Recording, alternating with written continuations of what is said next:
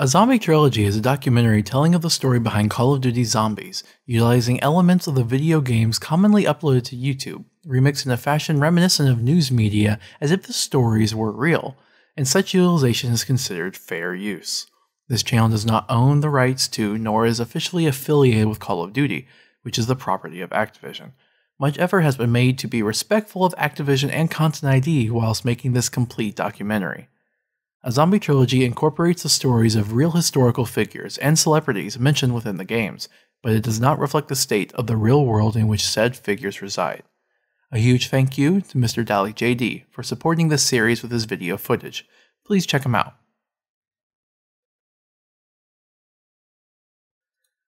The Call of Duty series is mostly known for creating gritty gun games on an annual basis but the company Treyarch has gone through great lengths to create the most ridiculous and convoluted science fantasy gun game story known to mankind Treyarch's Call of Duty Zombies.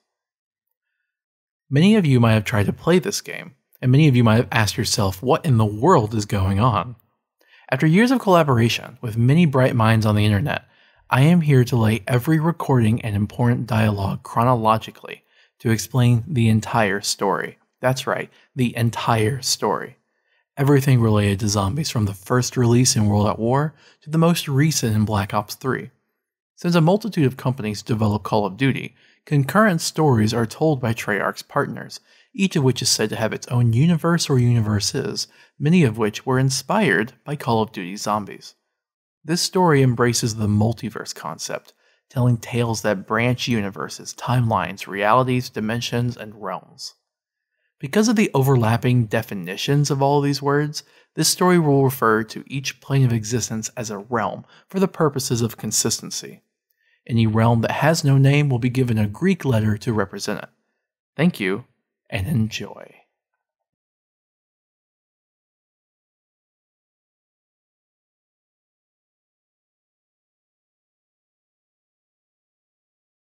The Ether, Agartha. In the beginning, there was nothing. The infinite expanse of the void was known by many names, including the ether, the beyond, Agartha, and Argatha. Ethereal energy could be found throughout the ether. Within the ether were at least 63 universes, as well as a being known as the First One. It was not omniscient, but it did possess indirect pseudo omnipotence. It created an artifact called the Summoning Key, which it used to imbue life energy into all of the universes, each in its own way. It quietly watched over all life, interfering only indirectly. The 63rd Universe, the Alpha Realm. The 63rd universe was host to sentient, pseudo humanoid life forms called Keepers, who reigned as the dominant life forms of the universe for an immeasurably long time. The first one chose to give the sentient beings free will. The Keepers created a religion that revolved around something called the Black Sun. Eventually, some of the minds of the Keepers were corrupted through their choice to use ethereal energy emanating from the ether. The corrupted Keepers banded together and fought a great war against the other Keepers in the 63rd universe. Many Keepers participated in the Great War on one side or the other, but some did not. Some keepers hid themselves away by creating a pocket universe that would one day be known as the Crazy Place. The corrupted keepers lost the Great War, and they were expelled from the 63rd universe into the depths of the ether, whereas the victorious keepers ascended to become wards of all universes. Eons passed. The corrupted keepers survived in the ether, evolving into evil Lovecraftian horrors that had a desire to consume all life. They became known as the Apothicons, led by the most monstrous of them, the Overlords. The keepers that had been victorious in the Great War were favored by the First One, and they had abilities that appeared to be magic. They created many artifacts, including transference devices, that allowed them to pass through universes. They evolved, bearing little resemblance to their original forms, and they named themselves the Ancient Order of the Keepers, serving as watchful protectors of the 63rd universe and preventing the Apothicons from entering any universe. They conjured a book called the Kronorium, which contained accounts of their ancient past.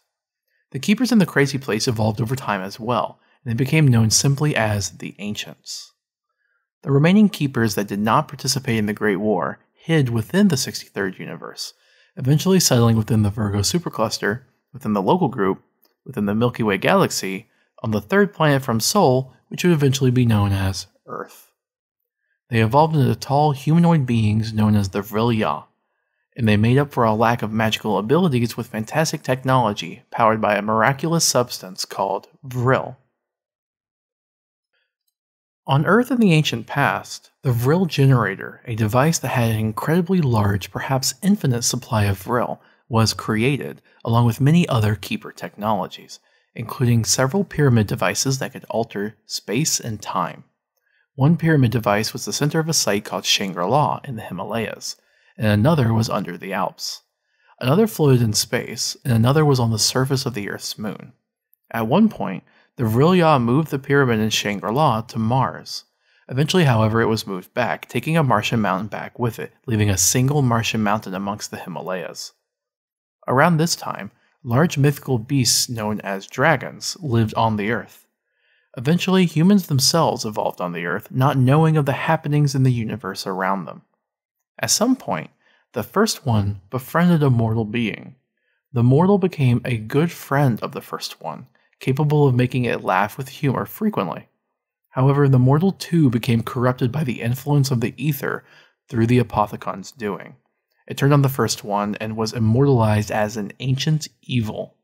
It would eventually become known by many names, including the Great Dragon, the Beast, Mictlantecuhtli, Beelzebub, Lucifer, Satan, and the devil, but it existed to act as an agent on behalf of the overlords of the Apothicons. Around the time humans began to dominate the earth, the Vril-Ya and the dragons both mysteriously disappeared and became legends, but humans began to reside within the remains of Shangri-La. In the first century, the island of Pohnpei in the Pacific Ocean became inhabited by human people as well, where they built a civilization known as Nan Madol. In the early Middle Ages, the Snake Kingdom comprised a powerful army. Their leaders resided within the citadel. The kingdom had mystic traditions that may have proved real, and they acquired possession of the Kronorium and held onto it throughout their reign. Warriors from the Lion Kingdom, wearing large suits of enchanted armor, invaded the citadel.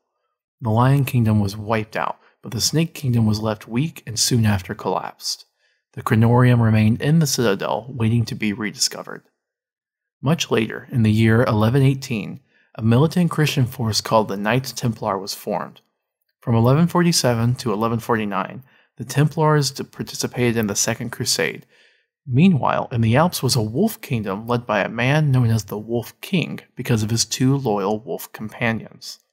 Unfortunately, one of them died for unknown reasons, but the Wolf King made the two wolves as the symbol of his kingdom. Near Bar-le-Duc, France, the Templars discovered ruins belonging to the ancients. They excavated the ruins and found portals that led to the crazy place.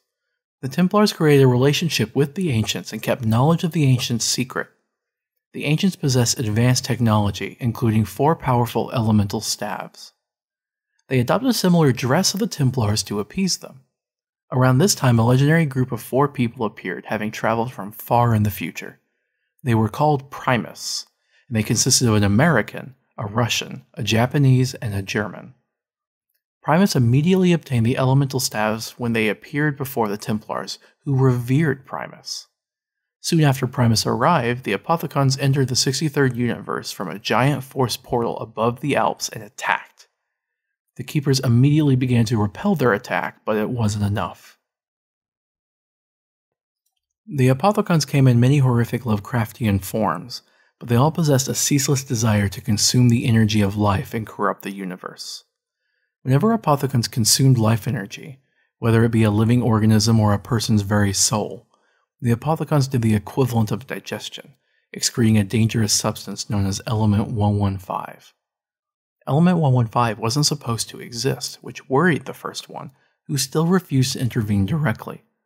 In its purest form, Element 115 glowed a bright blue, but in trace amounts of ore, it glowed a dark red, although it could be converted to function and appear for many different purposes, for element 115 defied the very physics of the 63rd universe. Element 115 even reanimated dead cells and in large quantities reanimated whole bodies. However, in living tissue, element 115 interfered with the workings of the mind and was capable of causing memory loss, delusions, and paranoia. Simply being near element 115 was enough to feel the side effects. During the Great Battle of the Apothicons versus the Keepers and humanity, the Apothicons excreted element 115 that reanimated undead zombies, which aided the Apothicons in their quest to consume. Primus assisted the Templars in their fight against the zombies, but Primus left for the Alps to fight the source of the Apothicons. The ancients in the Crazy Place found that they were vulnerable to the invasion, and many of them became ancient zombies that attacked the Templars.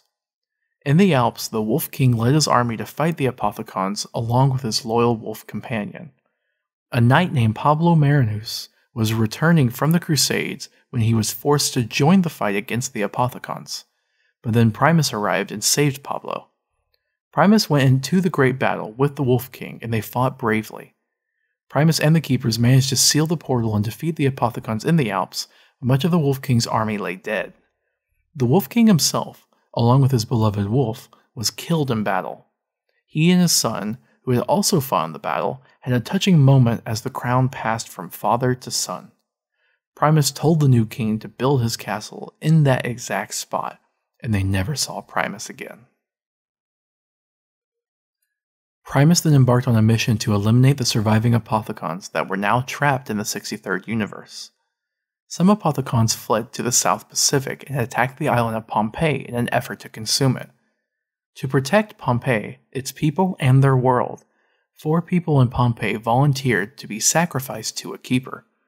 The keeper took their four skulls as well as his own and used their combined magic and life energy to destroy the Apothicons, saving the island. Eventually, all of the Apothicons in the 63rd universe were destroyed or repelled, and the invasion was a total failure. There was one exception. One giant Apothicon survived by hiding beneath the Pacific Ocean near Pohnpei. Primus returned to Bar-le-Duc and used their staffs to cleanse the zombie epidemic in some fashion. Eventually, Primus died heroically, with the American dying last. His dying words indicated his hope that they saved the future and not brought about its ruin, and that Primus had found a secret place that not even the first one knew. In the aftermath, all of the ancients were now ancient zombies, so the Templars destroyed the portals to the crazy place, quarantining them. The zombie plague was stopped, and the Templars built huge monuments of Primus to remember their sacrifice. The people of Pohnpei built a tomb and shrine to honor the sacrifice of the Keeper, as well as the four humans who died to save them. They memorialized the Keeper, naming it Nan Sapwe. In the Alps, the son of the Wolf King built a castle as instructed, naming it Der Eisendrache and under his rule, many knights and keepers that fought in the great battle were ceremoniously buried. He preferred dragon myths over wolves, but he kept records of the great battle and told the story to his own son many years later. In 1312, the Templars were violently dismantled and ceased to be. Much later, on April 14, 1639, J. Frank was born. He lived his life religiously and became an important religious figure to some Christians in Europe. He died on June 19, 1694, and he was buried in a casket with a relatively impressive tombstone. Sometime later, his tomb was transferred to North America for religious reasons. By the 1700s, Sir Isaac Newton, an incredible scientist and alchemist, discovered element 115. In secret, he wrote Newton's cookbook, in which he wrote of his experiments where he distilled element 115 into weaponized candy gumballs called gobblegums. Around this time, the Masaki family of Japan was a wealthy and powerful dynasty, with many of their family becoming notable samurai and bushi. Sometime between the 1830s and 1860s, a western town was built within the United States of America, and the tomb of J. Frank was present in the town. In 1851, Michael Faraday left his last position in the United Kingdom of Great Britain and Ireland as an electrochemist. He was the inventor of the designs behind the motor, transformer, and generator, and he was married to a woman named Sarah Faraday. They later bought an estate in the quiet western town and visited often. Michael brought the wealth he accrued as an inventor to the town, and he brought the invention of electricity to the town, installing a power grid. On August 25, 1867, Michael died while he was in the United Kingdom, leaving Sarah a mourning widow. In 1871, Sir Edward George Earl Bulwer Lytton claimed to have found the Vril He wrote a book about it, announcing them to the world, but the world never was able to verify the book as accurate. Sarah Faraday was miserable without her beloved husband, and she eventually moved back to London, although she missed the western town. In 1879, she succumbed to death as well. On October 15, 1887, the Western Towns' church's priest William died and was ceremoniously buried. In April 1888, B. Hush was hanged in the town for an unknown crime. Meanwhile, in the ether, the Apothicons were recuperating from their loss. The life energy they had consumed in the Great Battle long ago accumulated in the form of Element 115. The ancient evil arranged for what little Element 115 they had to be sent in the form of meteors with concentrated Element 115 ore into the 63rd universe as part of a long term plan to corrupt humanity. On June 30th, 1908, the first of these meteors fell to the Earth. It exploded shortly before impact upon the Siberian expanse of the Russian Empire. Around this time, four children were born that had the potential to change the world. They were Dempsey, Nikolai Belinsky, Takeo Masaki, and Edward Richtofen. Takeo Masaki was the youngest of the Masaki family in Japan, his family gave him a katana, the Path of Sorrows, when he was five years old. He often played with it in the streets, slicing the tails off of kittens, and his family was convinced that he would bring honor to their name. When he grew older, he had the phrase, Life is light when compared to honor, tattooed on the inside of his eyelids. Edward Richtofen grew up in an orphanage within the German Empire. Others called him Eddie, and sometimes Teddy. When he told the other children that his parent was a famous scientist, the children scrawled upon the wall, Teddy is a liar. In 1914, World War I began, although at the time it was known simply as another Great War. In 1918, World War I ended. In 1919, the German Empire had a revolution that turned it into the Weimar Republic. In 1922, a civil war transformed the Russian Empire into the Union of Soviet Socialist Republics, or Soviet Union. Richtofen attended Heidelberg University in the Weimar Republic to get a medical degree, and he secretly had homosexual relations with his roommate. After he graduated, Dr. Edward Richtofen became a politically affluent back alley plastic surgeon and attracted many Weimar socialites as friends. He developed a fragile ego and began to have difficulty sleeping without a teddy bear. Meanwhile, Nikolai Belinsky had a brother and a sister at home in Russia, but he left his family to travel Europe for his dream of becoming a writer. He wrote about his travels and he met a woman. They married and lived happily for some time, but a bombing incident killed her. Nikolai turned to drinking vodka to forget his past, and he quit trying to be a writer. He changed careers to that of a politician in the Soviet Union. In 1933, the Nazi Party gained control of Germany, turning the Weimar Republic into the Greater German Reich, or Nazi Germany. Richtofen's political aspirations were ruined, and he turned his attention to science. Although Nikolai didn't fully understand the benefits of communism, he became a vigilant supporter and crafty politician who moved his way up the ranks of government by killing the next person in line and marrying politically. When things went wrong, he had a habit of killing his wives. He killed his second wife with a shotgun, third with a sickle, fourth with strangling in a shotgun, and fifth by drowning and beheading with an axe. However, Nikolai's fifth wife had an affair with a high ranking politician who began using rumors to tarnish Nikolai's reputation, ruining his political career. Even Soviet General Secretary Joseph Vissarionovich Stalin heard the rumors and feared the politician who could murder with such ease. On September 1, 1939, Nazi Germany invaded Poland, leading many countries to declare war, plunging the world into World War II. When the war started, Stalin sent Nikolai to the front lines of the war in an effort to rid himself of Nikolai. The government of Nazi Germany, the Reichstag High Command, acquired six Wunderwaffe programs to have an edge in the war. The first Wunderwaffe was the Uranium Club, which was a nuclear energy project whose purpose was to weaponize nuclear fission technology.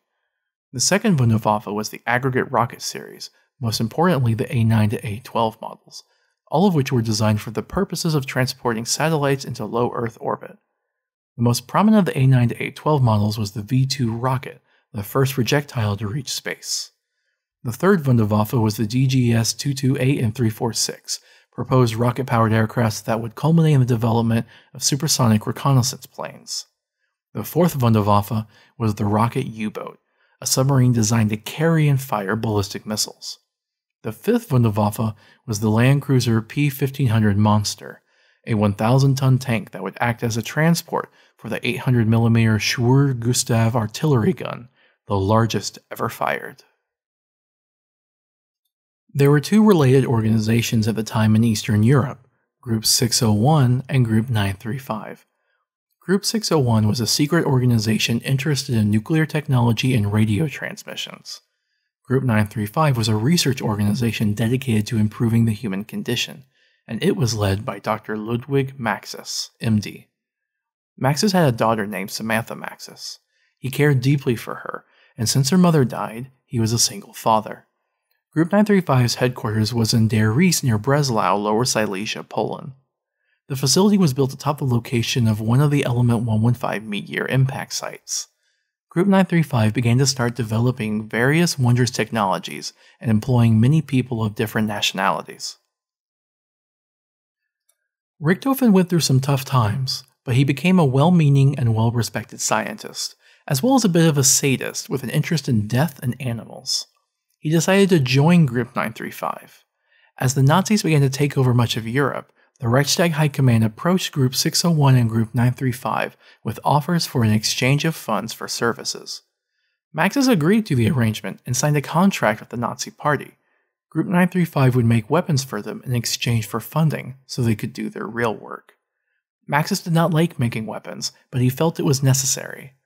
The 6th Wunderwaffe of Germany became the Die Glocke, which was overseen by Group 935 and rumored to be anything from teleportation to anti gravity machines.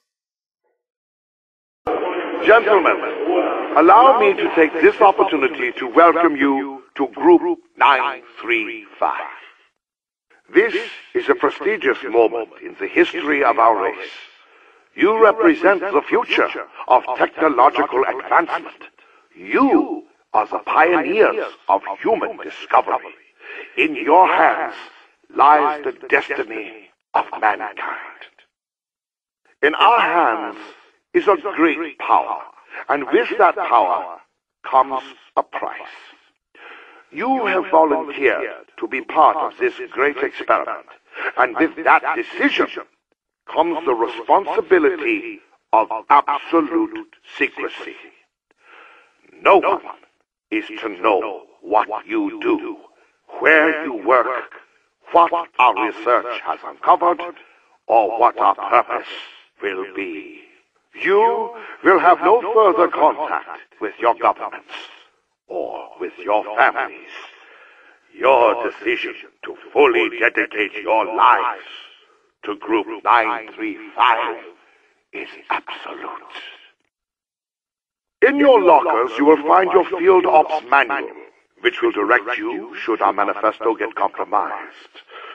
We cannot afford to let this power fall into the wrong hands, and therefore the Field Ops Manual should be considered your Bible. Make your preparations now. A new dawn is beginning for mankind. Log entry 38, date December 4, 1939. The matter transference prototype is prepared for test run number 151. We have now reduced our test subject's mass to prove that this is possible. Dr. Schuster, please give an overview. Yes, Dr. Richtofen. We have the new test subject, a walnut, weighing in at 10 grams. The target platform is now at 3 feet with no obstructions. We have one microgram of the element which, according to our calculations, will be entirely used up during tests. Excellent, Dr. Schuster. Commence test number 151. Yes, Doctor. Uh, please, insert your earplugs.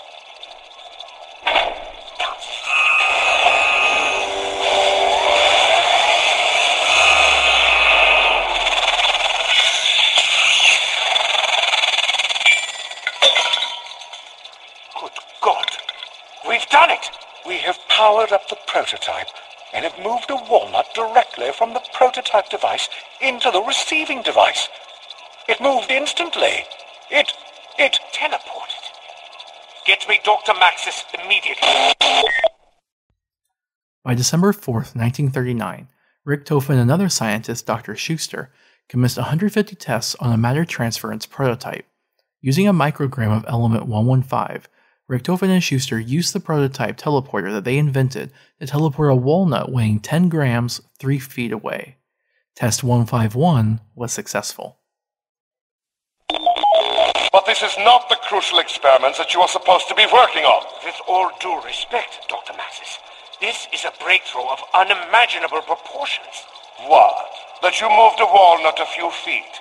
Yes, Edward. We will improve the human condition by revolutionizing the walnut industry. I can see it now. Edward's walnut delivery. Don't be obtuse. How dare you call me that?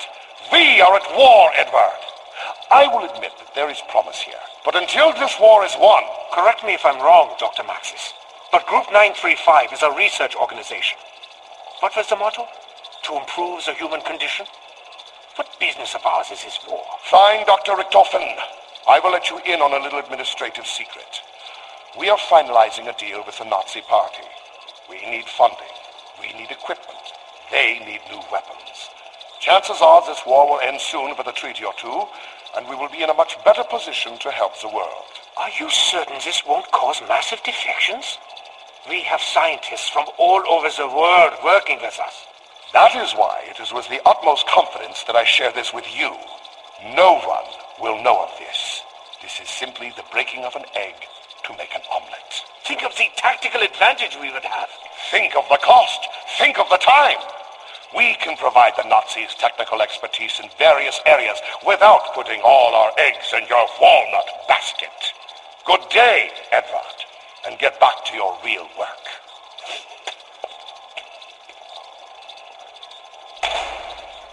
bloody jerk. I think Dr. Maxis has lost his perspective. No matter.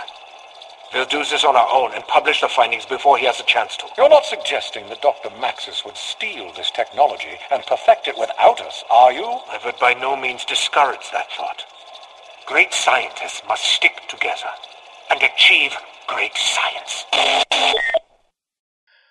Richtofen told Maxis about the innovation, but Maxis was not pleased. He believed the teleporter to be a waste of resources and that nothing beneficial would come of it. Maxis also confided in Richtofen about the contract with the Reichstag High Command. Richtofen thought that the teleporters could aid Nazi Germany significantly, and that Maxis might be lying about his disapproval in order to steal his work. So Richtofen and Schuster continued to work on the teleporter despite Maxis's objections.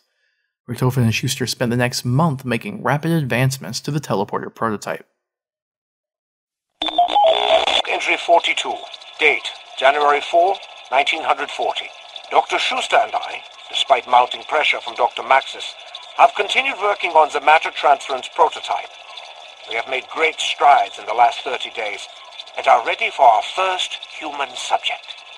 If our calculations are correct, we will send a test subject, me, to the receptacle station sitting 30 yards away and behind a cinder block wall. Are you certain you want to do this, Dr. Richtofen? Nein, Dr. Schuster. But this must be done. Quickly, put in your earplugs and power up the machine.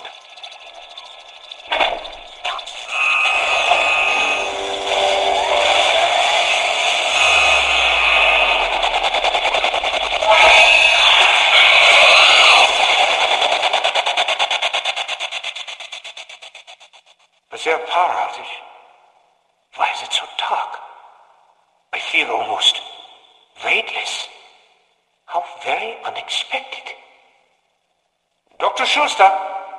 Hello? There. I can see now. Oh my God. I'm standing in a circular cave. surrounded by some kind of machinery.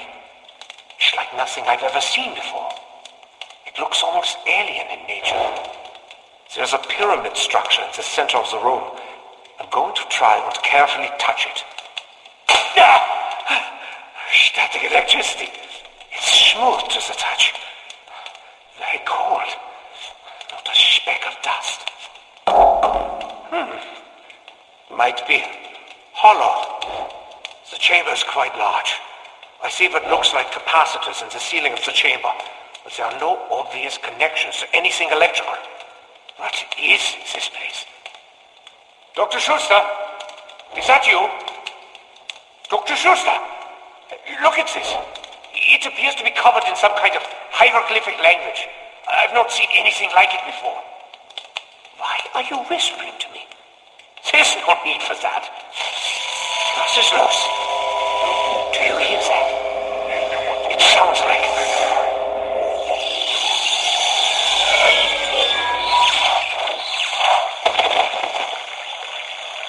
My God! What happened? I seem to be in some kind of jungle. I can't be certain of where I am.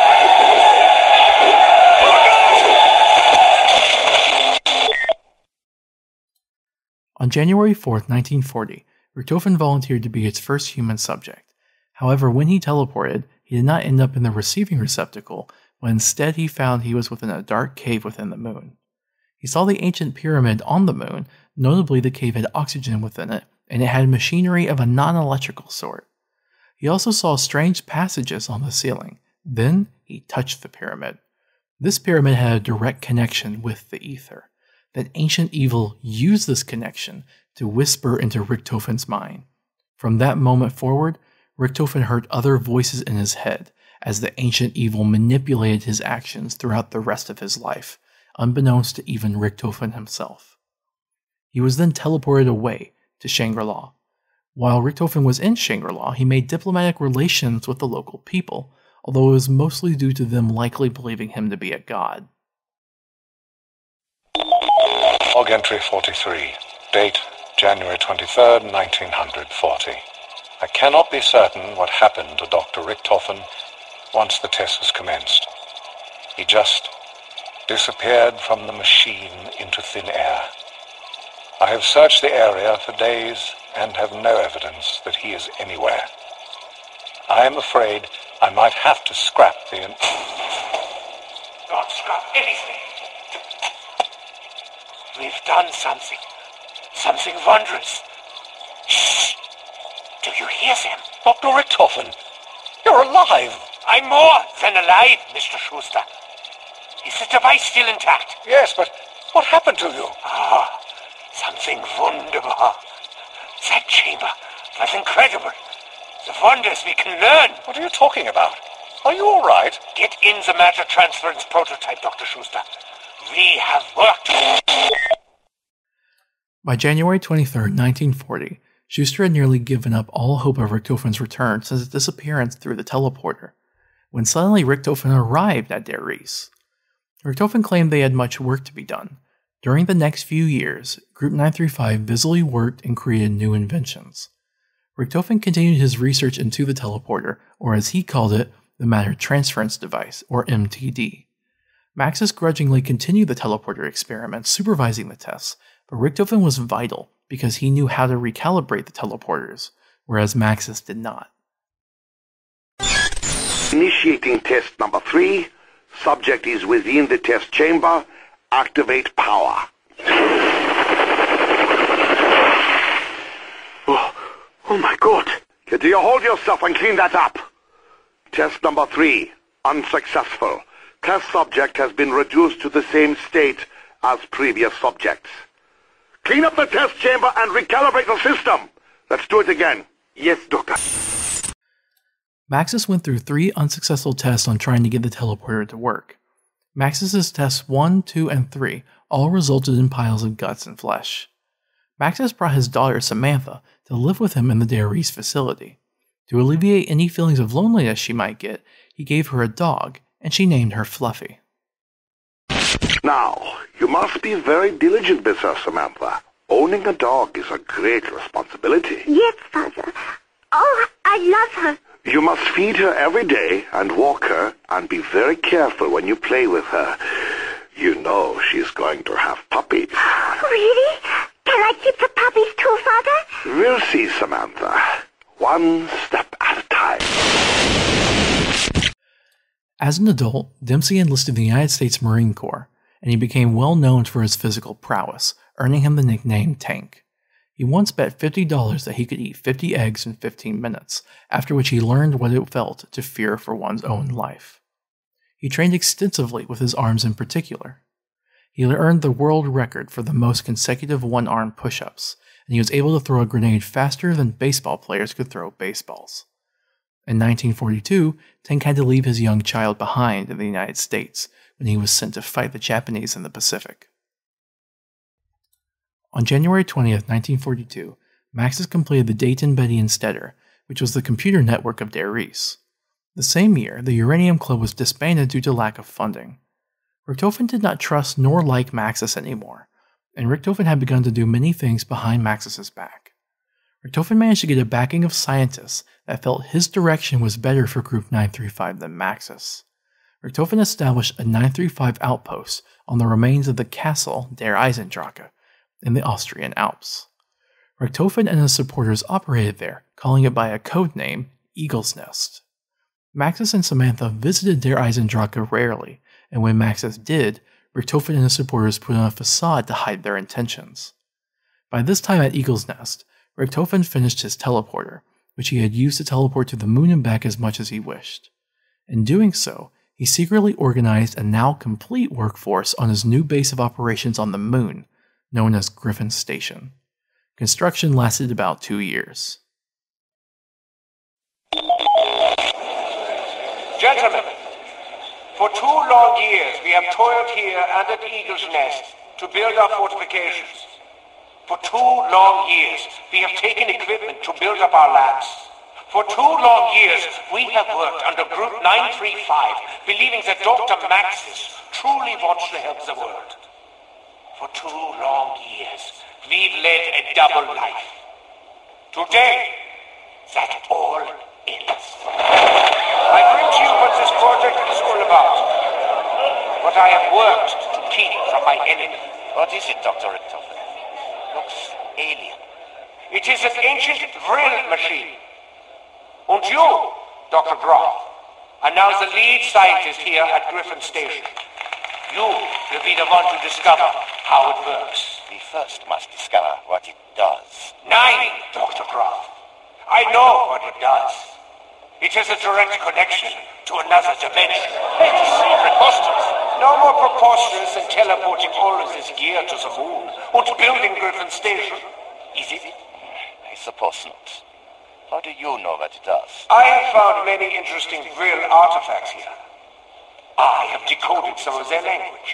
All signs point to this device being a stable gateway to the Aether. Dr. Richtofen, I'm aware of a project being run by Dr. Maxis at Der Riese concerning Vril. As am I. I am going back to my post at Group 935 to continue the charade. I will be finding out just how much information Dr. Maxis has on Vril. Once the machine is operational, I will enact my plan and return. Gentlemen, let the games begin.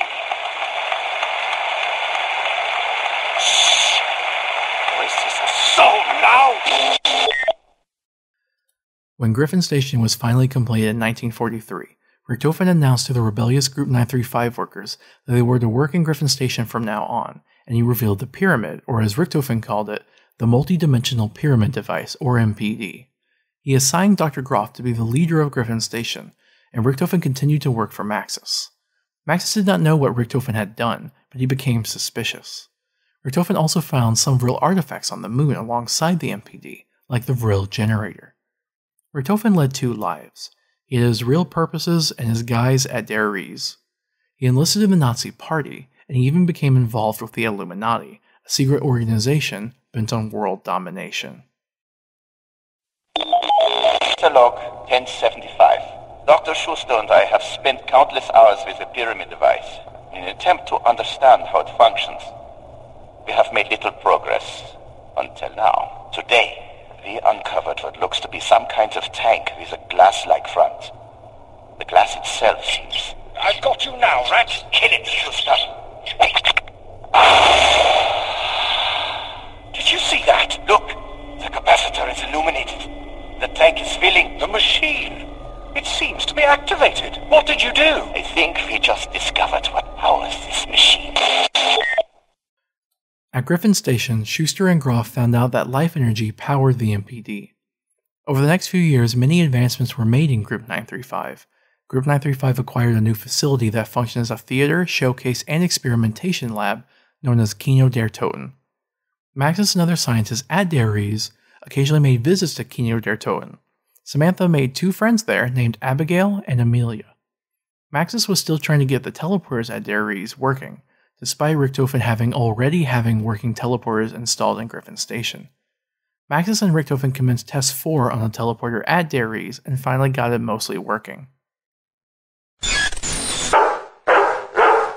Edward, tie the damn thing down!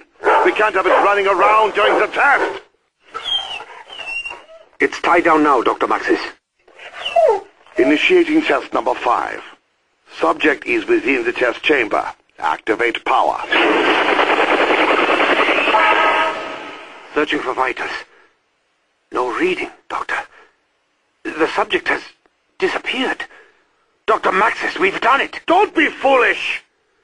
Test number five is unsuccessful. Subject has vanished, yes, but has not reappeared at the mainframe. Recalibrate the damn system, now!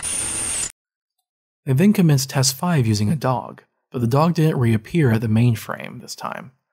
All of this was made possible with Element 115, so Group 935 scientists scoured the globe for the other Element 115 meteor impact sites, and they found Shi No Numa, Japan, Tunguska, Soviet Union, Groom Lake, Area 51, Nevada, United States, and the Moon, which was confirmed via Group 935's astronomical team, all had such sites. After studying ancient Vril artifacts, Maxis managed to create the Pack-a-Punch, a mysterious device that could upgrade most weapons into more powerful varieties using magic, Vril, or Element 115. Scientists working for Group 935 then began to notice that Element 115 reanimated dead cells. The Showa Emperor Hirohito of Japan also became intrigued in Germany's research of Element 115, so he saw to the formation of Division 9, whose duty was to investigate strange sciences that could help Japan win the war. Division 9's first installation was the Rising Sun facility at Shi No Numa, the location of Japan's Element 115 meteor impact site. Shi No Numa was located within Manchuria, but in acquired Japanese territory. Since Japan was an ally of Germany in World War II, Division 9 and Group 935 formed an alliance. Division 9 made designs for an energy weapon, and Group 935 seized the designs. Maxis then built the ray gun in Der Riese. Group 935 scientist Dr. H. Porter was then tasked with the ray gun from that time forward. Richtofen also created a weapon, the Wunderwaffe DG-2, which utilized element 115, electricity, and a miniature anti-gravity mechanism. Richtofen later wrote a book detailing the mechanics of the Wunderwaffe DG2 and the pack-a-punch version of it, the Wunderwaffe DG3JZ, in an attempt to promote his invention. Meanwhile, Kino der received a working teleporter from Der Riese as well as a smaller pocket teleporter. Stand up. Stand up! Good. Look at me. Over here. Good. Now walk forward.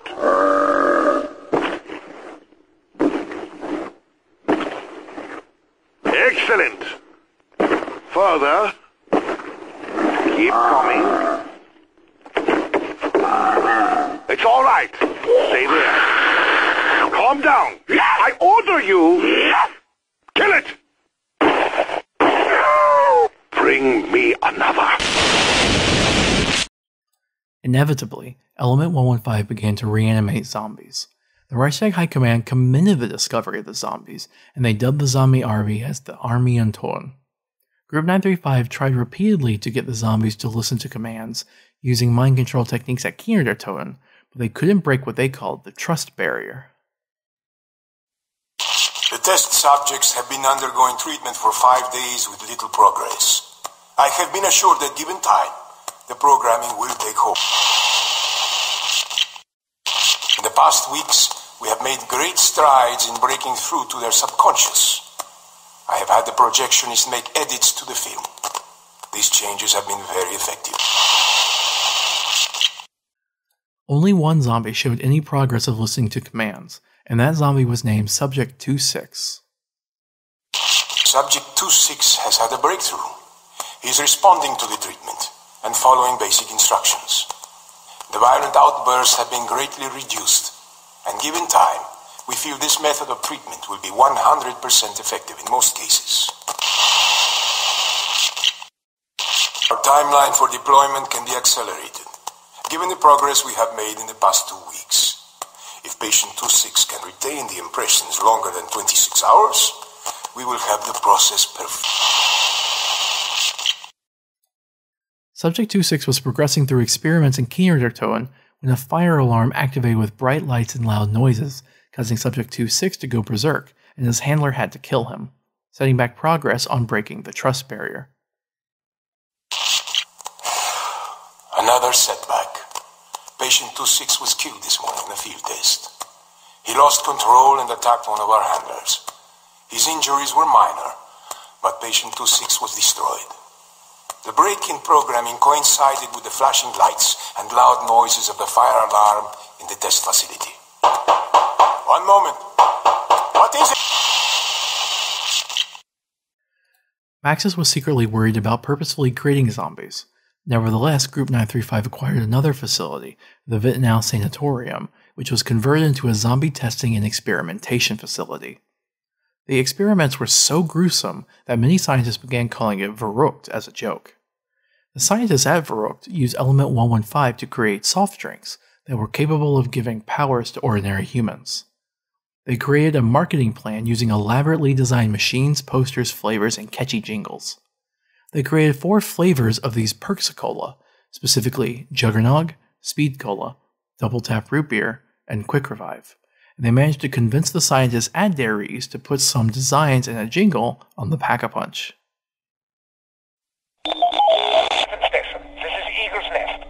Status update, over. Hello, Doctor. We have the shipment and are carrying out your orders. Grim work, Doctor. All in the name of science, Dr. Groff. Continue until the tanks are full. Yes, Doctor. May God have mercy on us all. Richtofen began sending prisoners to Griffin Station to be killed to power the MPD. In 1944, a subdivision of Group 935 was created with the purpose of developing a deadly war chemical. Dr. Friedrich Steiner combined two gases, tabun and sarin, to create Nova 6. Scientists used Nova 6 at Kino der Toten to create a mutant variant of zombies called gas zombies. After showing valor in the Pacific, Tank Dempsey became a war hero. That same year, the Battle of Peleliu began in Japanese territory, Four ray guns appeared in the battle by unknown means. However, Tank gained even more notoriety when his unit was captured by the Japanese in Peleliu, and he gnawed his way through his bamboo cage and killed his captors with a bobby pin and his Medal of Honor. Meanwhile, Nikolai became a hardened soldier, drinking vodka to ease his pain. He married four more times, but each marriage ended in a peaceful, albeit tense divorce. Takeo also fought as a Bushido warrior for Japan, and he fought in the invasion of Manchuria. Sophia, this letter is to go to the Reichstag High Command immediately. Gentlemen, it is with the utmost urgency that I draw your attention to the lack of funding being injected into the giant project. While I believe we are close to realizing the ultimate plan, we still have several years of development before it is ready. It would be folly to cut our expenditures so early in our development. As you know, early tests on the DG2 have easily outperformed expectations, and we fully anticipate mass-producing the Wunderwaffe within the next few years. Work on the matter transference has, however, come to a standstill. We simply do not have enough element 115 to continue the experiments. The test subjects have survived teleportation, but are currently unresponsive to commands and cannot be controlled. If we are to overcome this obstacle, we need to increase the frequency and size of the experiment. To this end, I suggest we find not only a regular supply of 115, but that we also find a larger conduit to channel the energy. Our operatives in America have informed us that the U.S. has a large supply of the element at the Nevada base. So time is of the essence if we are to stay ahead of them. This cannot be done if you cut the budget, nor can it be done if you insist on pressuring us into action before we are ready. I am of course available for discussion on the matter, but in the meantime, I will continue with the work here and try to win this damned war. Signed, etc., etc., Dr. Maxis. The Reichstag High Command began to pressure Group 935 by withholding funding, and Maxis urged them to continue to fund the program. He also told them that the teleporters were functioning, but he said that they were at a standstill due to not having enough Element 115 to continue the experiments. The Wunderwaffe DG2, he also mentioned, was completely functional, but it needed a couple years to be mass produced. Meanwhile, Maxis continued to become more suspicious of Richtofen, but he dismissed it as a side effect of Element 115 disrupting his thoughts. In the hopes of acquiring more Element 115, Maxis authorized a Group 935 cargo ship to establish a base on the coast of northern Siberia in the Soviet Union, where a considerable number of fragments from the exploded Tunguska meteor were. Dr. Harvey Yena, SED, was among the scientists sent to the area. There, he invented his own personal weapon with Element 115, the Scavenger. The scientists there researched some Vril artifacts that Maxis provided for them, and they finalized a weapon utilizing it, the VR 11. Maxis also found a rare Vril artifact himself called the Egg. His tests on the egg accomplished nothing, and so Richtofen stole it and took it to Griffin's station without Maxis realizing. Richtofen also kept Shangri-La as a Group 935 base of operations. He modernized it using various technologies, and he used the locals as a labor force. An Element 115 meteor had also crashed there in Shangri-La on top of the pyramid. Richtofen tried finding focusing crystals in an attempt to utilize the meteor, but he didn't have enough of them. Maxis created a tool that could shrink things using Element 115. The natives of Shangri-La named it using their conglomerated language that, when visually anglicized, appeared to read as 3179 JGB 215. Also, a non working prototype of another weapon, the Thundergun Mark I, was created. It was still experiencing quite a few problems, however. Richtofen also acquired his own research center, the Richtofen Center for Clinical Research. The patients referred to Richtofen as the Butcher, and it was most likely a front for some kind of experimentation. Richtofen's favorite patient was patient 13225. Also, a small Group 935 facility was set up in Paris, France, near the Eiffel Tower. Meanwhile, Group 935 speculated that the High Frequency Active Auroral Research Program, or HAARP, of the United States was secretly established and powered by Element 115. On May 8, 1945, Germany surrendered to the Allies. By this time, Group 935 still hadn't broken the trust barrier, and the Army Antoine was put into capsule like storage containers until they could be properly controlled. Maxis believed that they could study the effects of Element 115 on living test subjects, and so he delegated the matter to Richtofen. Richtofen captured three people of different nationalities, he captured Nikolai, Takeo, and a Mexican who just so happened to be a descendant of Pablo Marinus. Richtofen took the subjects from Eagle's Nest to the Siberian outpost, and he also gave Takeo the codename N3WB. Maxis never realized it, but on the occasions that he and Samantha visited Der Eisendrache, Richtofen performed experiments on her without her knowledge. Log entry 1471. Date September 2nd, 1845. Die. Another day, another fair. This time, subject N3WB just slightly at the floor. The Russian subject still smells like urine, even after he was given a bath and deloused twice. And I think I might have killed the specimen from Mexico. His spleen is on the floor, and he's not moving anymore. I can verify with certainty, however, that the barrier is not located in the spleen. Dr. Continue no matter the cost. I wonder what he might think of the experiment, the little girl. nice! Drop that! My sleep! Richtofen accidentally killed the Mexican by removing his spleen. Japan was the last Axis country to surrender to the Allies on September 2, 1945, marking the end of World War II. Group 935 struggled to continue without Nazi funding, but they managed. Sometime around this time, Richtofen created his most insane invention yet the monkey bomb, a weapon utilizing element 115, a bomb, and a taxidermied monkey corpse that was designed to look like a toy. Dr. Peter McCain was a research assistant based out of Munich, Germany, and an American spy for the Office of Strategic Services, or OSS.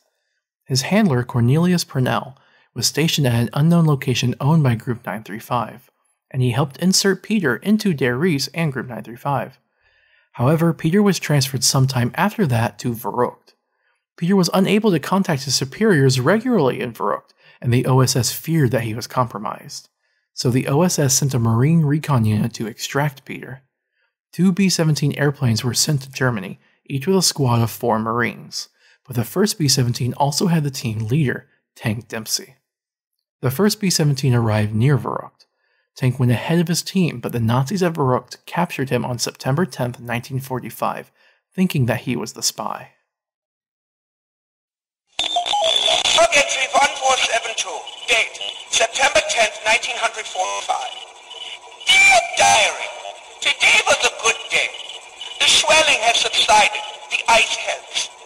They made liverwurst for lunch. It was... I still have not had any luck reprogramming any of the live specimens. Dr. the key to unlocking the human mind will be more easily discovered on someone who isn't dead yet. I am not convinced. The army is stored until I can break this, this trust barrier. Oh, apparently someone in security found a spy in the group. They're delivering him from place the one that I broke. oh. When Peter saw Tank captured, he unleashed the already unstable zombie test subjects and turned off the power. But when he did so, a zombie bit off his arm. He treated it medically before fleeing. Tank's captors also made a safe getaway with Tank. The others weren't so lucky. The other B 17 crashed in a remote field in Germany. Element 115 had actually been sent here and given rise to zombies in the area. The four Marines made a last stand this night, known as Nacht der Untoten.